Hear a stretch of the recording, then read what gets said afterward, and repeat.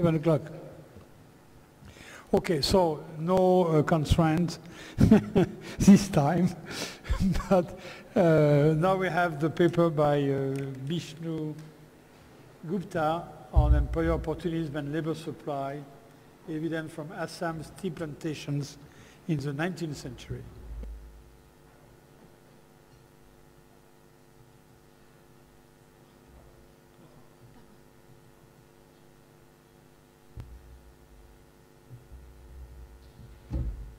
Thank you for the invitation to be here. Uh, it's a great pleasure.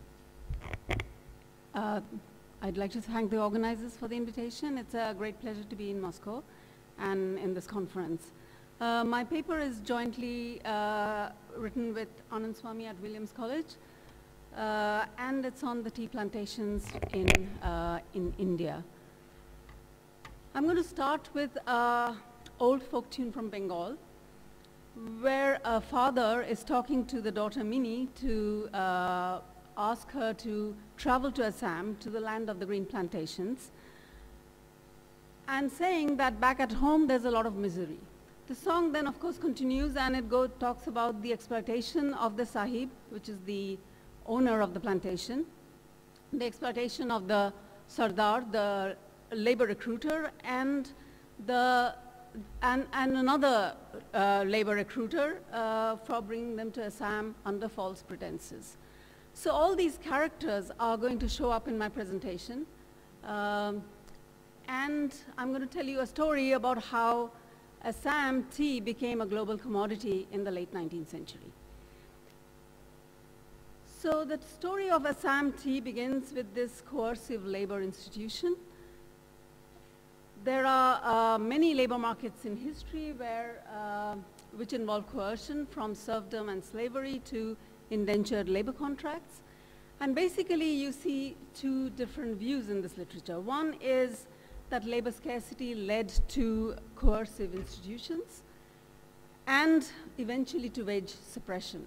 And this literature involved Domar in 1970, Naidu and Yuchtman in uh, uh, talking about the British masters and servants law in, uh, in, in England in, uh, this, uh, in the AER in 2013. And then there is Avner and Christian Dippel's paper on the West Indies, which is in a similar vein.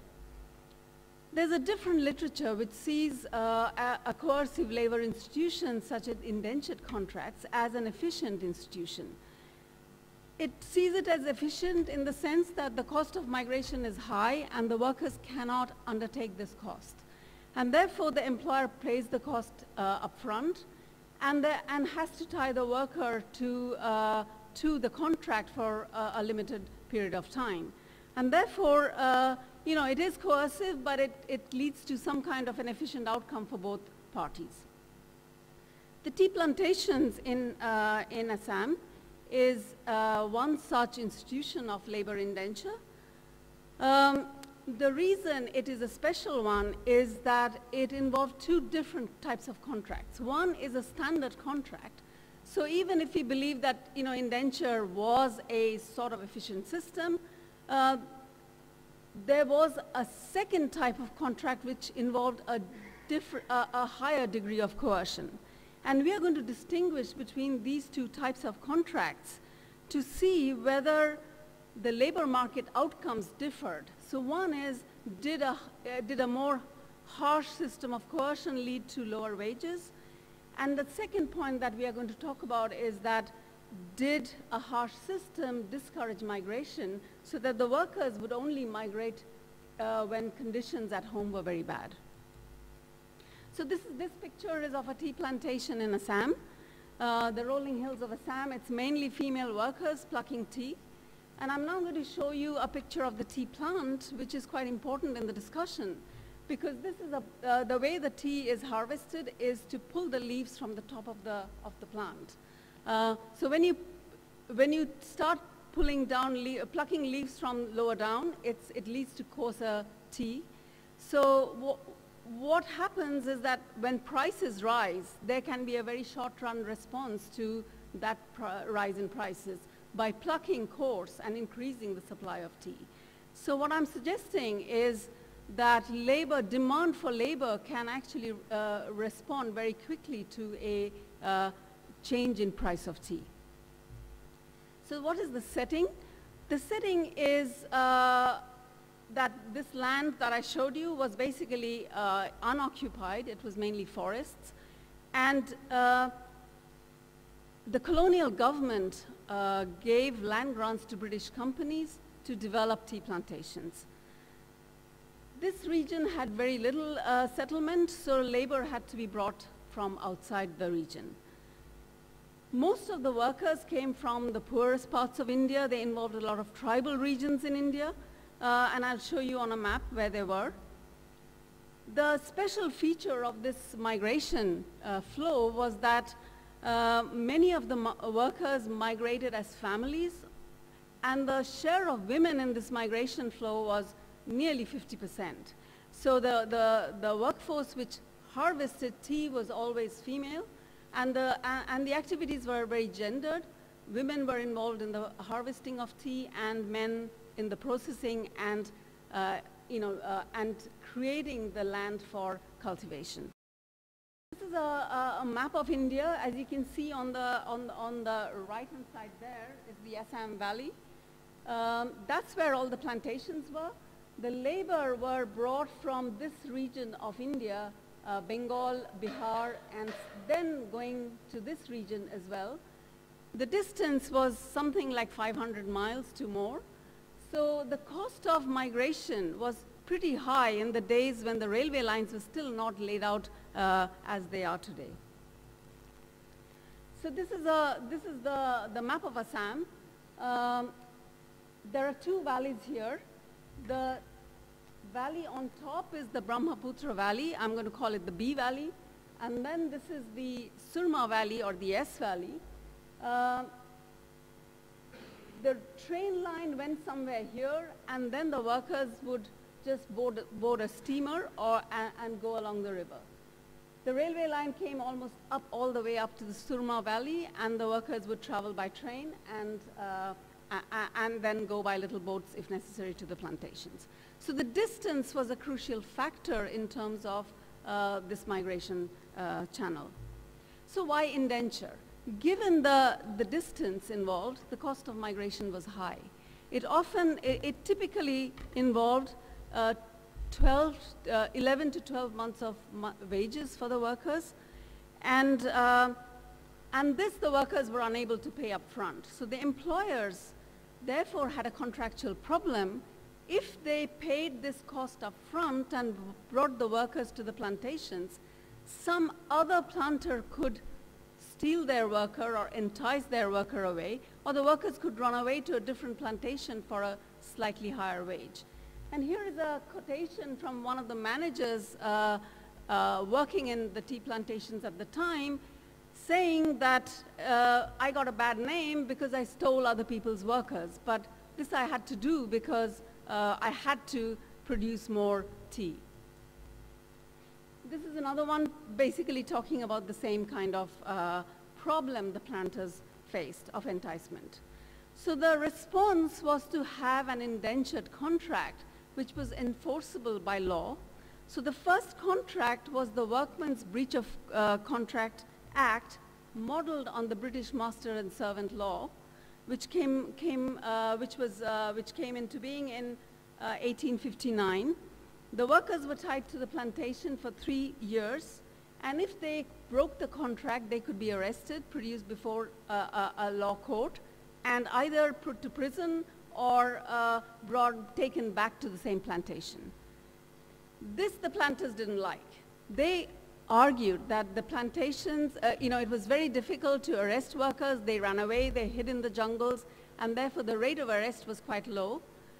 And the planters needed a better way of arresting the workers who ran away.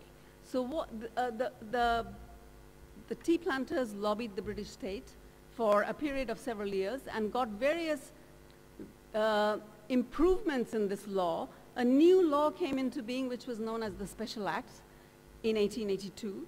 Under this act, an individual planter could simply go and arrest a worker running away. So the, the planter would have men waiting at the ship, uh, at the river, ghat, or, uh, or on the road where they could pick up any worker, you know, seen to be uh, uh, deserting. And then this worker would be brought back to the plantation, beaten up, and, or punished, or produced at, at a law court and imprisoned. So this amazing, uh, you know, astonishing right the planters got was obviously open to misuse, and it was. Uh, and this is what we are going to try to look at is this harsh contract, how did it impact on labor migration flows? I just want to say two things. How, how did recruitment take place? Uh, recruitment took place by two methods. One in which the local, uh, the planters sent a local, uh, an employee back to his village to recruit from the community. And the second channel was to use labor contractors from the city of Calcutta who would go to various places and recruit new workers. So this gave rise to the workers' problem that the, plant, the, the Special Act became notorious for the ill treatment of the workers. You can read that, that quote which is there from, again, from a planter, planter's diary. Uh, and it sort of gives you an idea of what sort of uh, punishment and what sort of uh, coercive methods were used.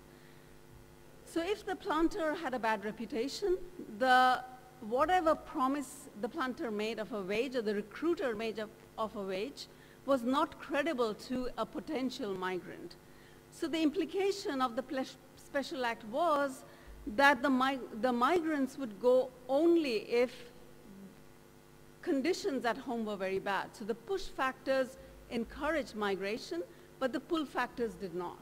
And that's the, that's the difference we want to, uh, to look at and empirically see whether we find any effects of this.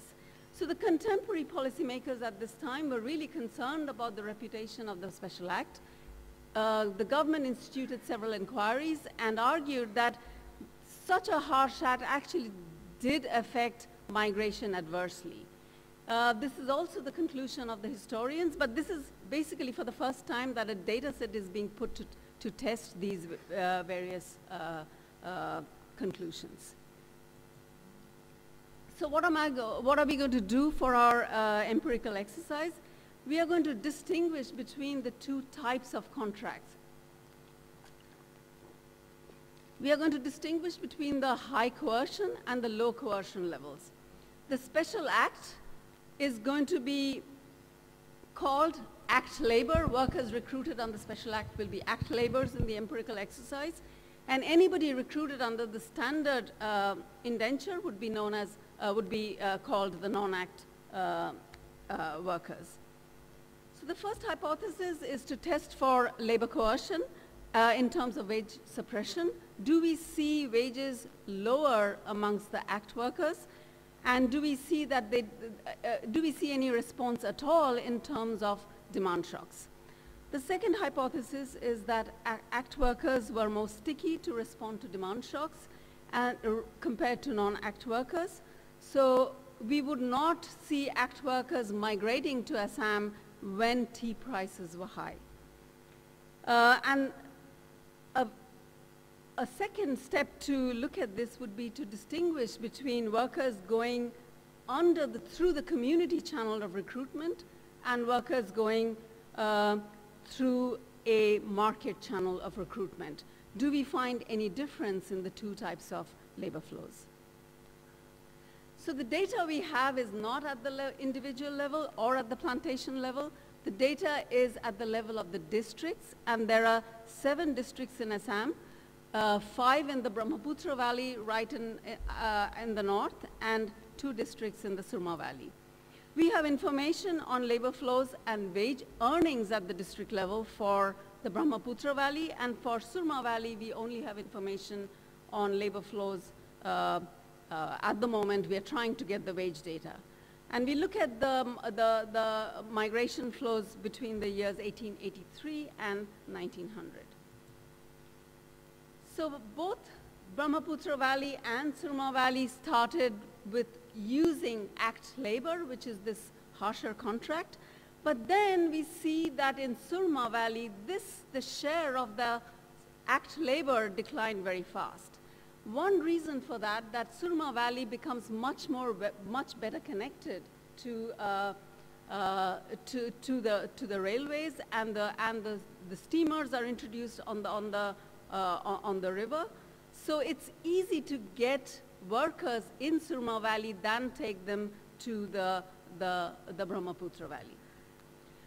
So this is the share of Special Act workers in uh, Brahmaputra Valley. You can see that they, it sort of, it's it, it, stays pretty much the same over this period. And this is uh, uh, Surma Valley where they decline, uh, it declines very fast uh, over this period. The other thing I wa want to point out that in terms of enticement, two things matter. One is how expensive it is to get a new worker. But the second thing that matters is, is there a social sanction for this enticement? Now, these British planters, they socialized in clubs uh, they socialized together, they went to the same clubs and same social uh, networks. So if the plantations were located close together, they were less likely to incur this, this cost of uh, uh social sanction. So this is, these are the tea plantations in Assam. Uh, you can see that they are quite far apart. And this is the Surma Valley. And you can see all the plantations are pretty close together. So if workers were enticed away, then it was much easier to spot who was doing this. This is, the, this is, a, this is just a very quick comparison of the monthly real wages in, in the recruitment regions and the receiving regions. And you can see that the, the plantations did have higher monthly wages. So I'm going to uh, take you through our, uh, the empirical exercise. Our main dependent variable is labor flows by the type of contract. Uh, and the explanatory variables uh, that matter are uh, the tea price shocks. So we have tea prices averaged over two years. Um, that's the pull factor. And the push factor is the nominal wage of labor and, and the price index of mainly food, so uh, uh, an indicator of the cost of, uh, cost of living. And then we have controls whether the district ha has railway lines, uh, district dummies, and a time trend. That's the price change, change over this period. You can see that over, it, it is broadly declining over time, but then there are large fluctuations. And this is the price index for, uh, for, uh, for food. How much time do I have? How much time do I have? Five minutes. So if you look at uh, labor flows in the Brahmaputra Valley, you can see that non-act labor is actually a small part of this flow. Most of the workers go to the Brahmaputra Valley either as recruited by the Sardars or as recruited by the contractors. So the, the, the, the, the largest labor flows to the Brahmaputra Valley are uh, under the Act. When we come to the Surma Valley, it's, the, uh, it, it's, it's, different as I've shown you. It's the uh, non-act labor inflow, which is the most important one. So the first uh, uh, empirical exercise is to see whether tea price shocks lead to any effect on the earnings. Now, these are not wages. These are earnings of the workers at the level of the district. And we, dis, this, uh, and, uh, we disaggregate this by four categories, the act women, act men, non-act women, and non-act men. And you can see that there is no evidence of wage suppression in this data. What we find is that the wages of act women respond quite strongly to uh, rise in tea prices. Uh, and there's also some effect on, on the wages of, uh, on the earnings of men. So we don't actually find evidence of wage suppression, suppression in the data we have at the moment. The second, uh, uh, the second, uh, actually let me go back to the, the second and the main, um, the main empirical exercise is to see whether uh, the reputation of the act actually affects labor flows to demand shocks. And this indeed is the case. Look, if you look at the first two columns, uh, non-act labor responds very strongly to any, any price shock. And this effect is much bigger in the Surma Valley uh, compared to the Brahmaputra Valley. When you go to ACT labor, we don't find any response at all. And that's sort of, you know, not surprising because that's what we've been arguing so far, that the reputation had big consequences for labor flows. Now, we get to the more interesting bit. We disentangle the act labor migration by contractor imports and the community channel uh, uh imports. So here uh, we find very strong effects of price shocks to, uh, for uh, workers who were brought in by contractors. But we don't find that for workers who came through the community channel. And that is the most interesting result of this paper because if you look at the response to the price shocks, it's similar for all categories of workers when the push factors are strong. So the response to the push factors are uniform across all categories, but they vary by uh, the type of recruitment for pull factors. So why are the Sardar recruitment so different from the contractor uh, recruitment?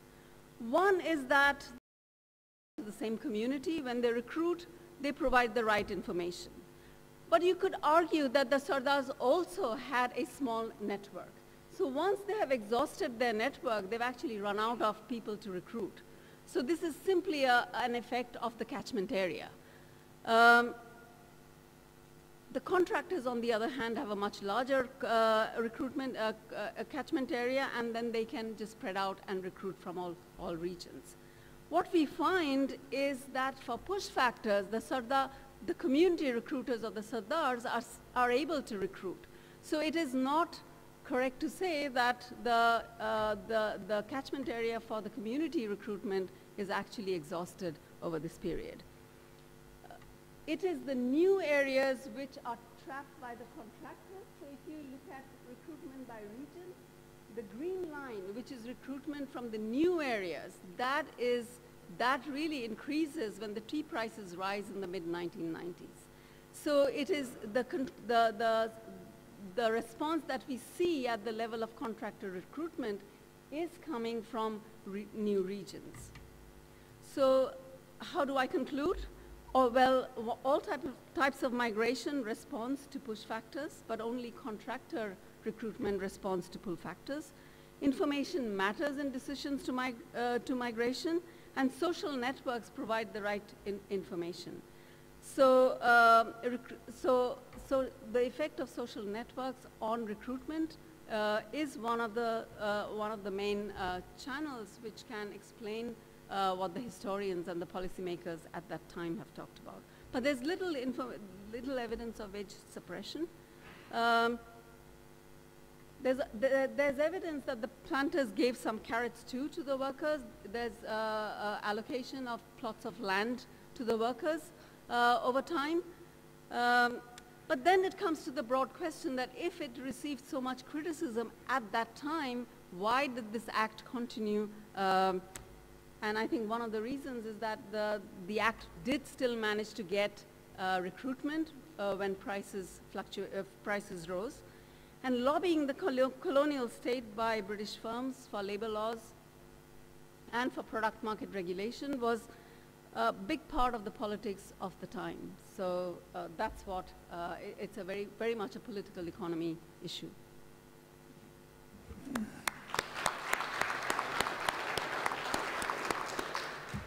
Thank you very much, Bishnu. And now we have the discussion by uh, Yannick Dupraz. Thank you. So how, how much time do I have? Five minutes? So I will try and be short.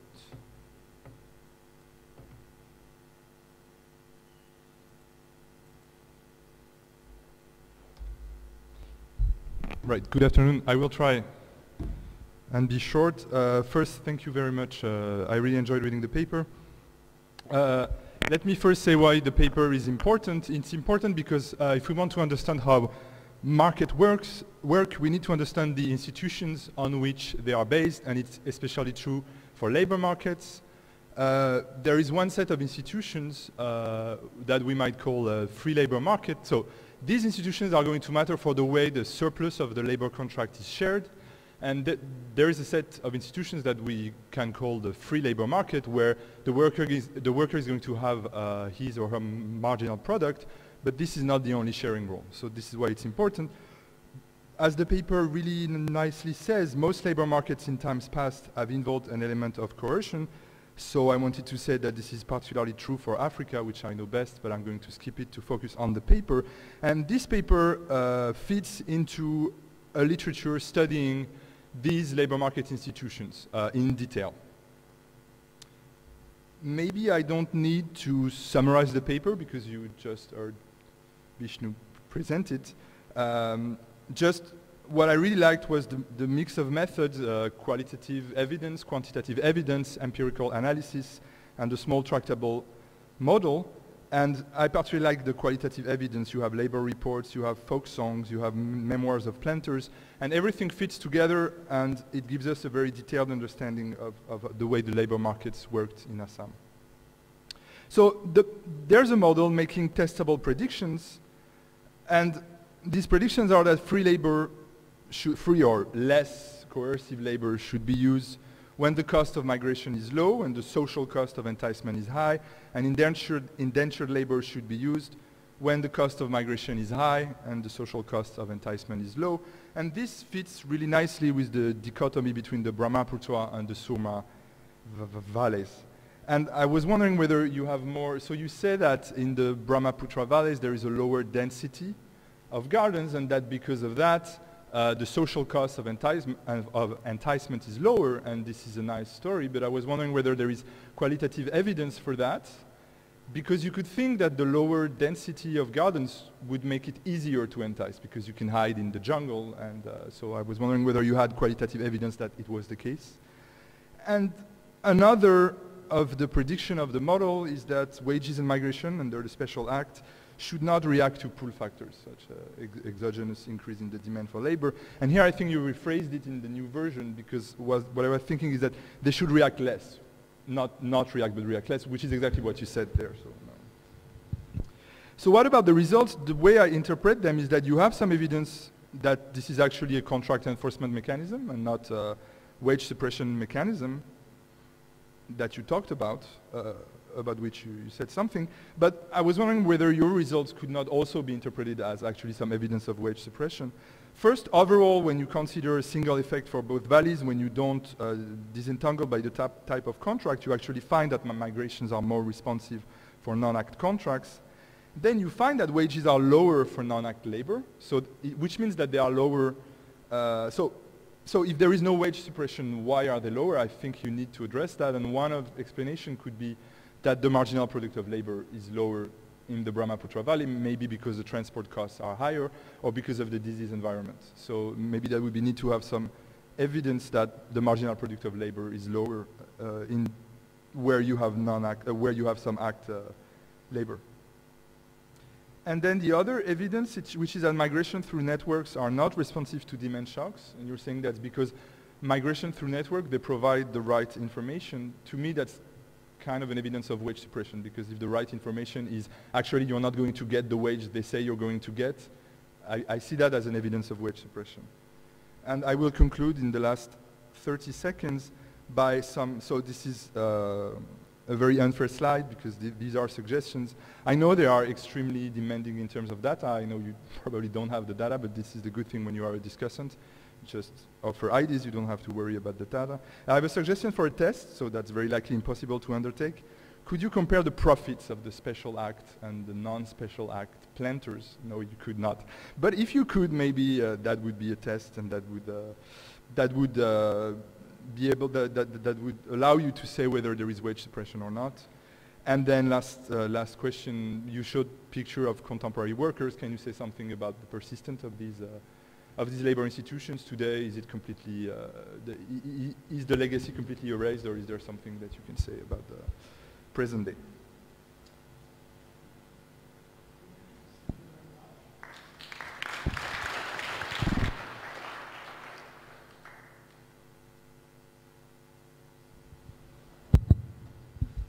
Uh, so I was.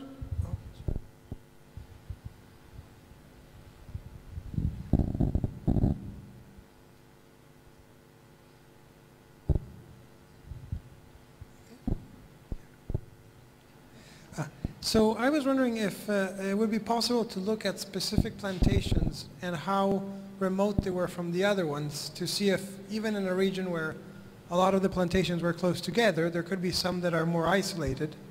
And do they have different recruitment practices? Is there something, you know, some difference based on the remoteness? Other, Ca- other remark question? Yes. One small comment out of uh, ignorance, actually. I, I was wondering whether uh, actually part of the different type of contracts could be hiding some sort of human capital within the people that they were hiring, okay? Because actually, I mean, perhaps it could well be that this worse contract actually with people with lower human, but the thing is, I don't know exactly what does it mean. So it suggested the fact that this, this kind of contracts increase when you have actually increasing price. Actually, if to extract those leaves of tea, you need lower capital because actually, whatever human capital is, perhaps is the thing that is you're really identifying is the fact that these different contracts are simply selecting different kind of people that you, perhaps in the data you cannot really see, but perhaps suggesting evidence could tell you that. No?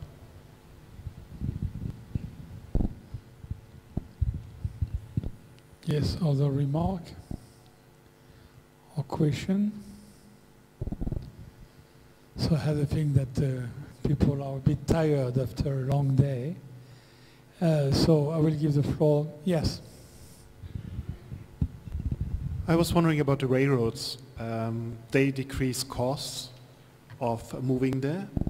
So, um, and they go to certain places. So you, uh, I'm wondering whether you can actually um, find differences according to where the railroad went and when they went up the hills. Okay, no other question? Pranab. Uh, Bishnu, uh, the Sardar system, which is where uh, the agents recruited from the villages they know, uh, from their point of view, they must have a reputation to protect too.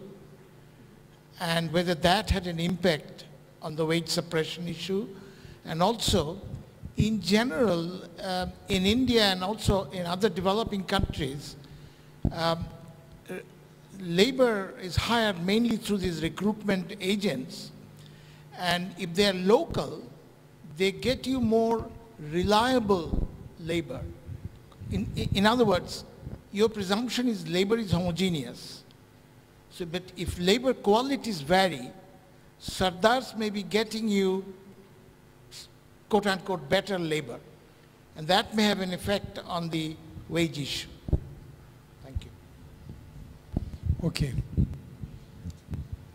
Yeah, if I can start with that first. Uh, it is true that the labor quality, or you can sort of even think of in terms of some kind of skill capital, is, actually, is different. Um, in the qualitative discussion, you see the, that the planters want the tribal workers who migrate with families and are more stable, and they come through the, the sardars, and they're more reliable. So there is, you know, there's no way we can actually, because we can't link the migration flows from the recruiting regions to the destination regions, we cannot measure these precisely. But it is true that the, that the planters prep the, the workers coming through the community channel because they find them more stable. And in that sense, the act is actually failing them because, uh, you know, this, this is a labor does not respond to, to the, to the uh, pull factors. Um, the question about the distant districts, uh, we looked at the two most remote districts, uh, and we do find that desertion rates are higher there, as is the capture rate. So you find a much higher rate of, uh, you know, the planters prosecuting, uh, planters and the legal system prosecuting these workers. So uh, the fact that the plantations were more uh, spread out did mean that the, that the social sanction didn't work as much as it did in the, in the Surma Valley, which is one of the comments uh, that was made earlier. So, uh, but you know, it's very difficult for us to, because we can't sort of tie the labor flows from recruitment regions to the sending regions, it's very difficult to precisely pin them down. But the qualitative literature does have that. Um, profits is impossible to find before 1911, so I don't think we can do much about that.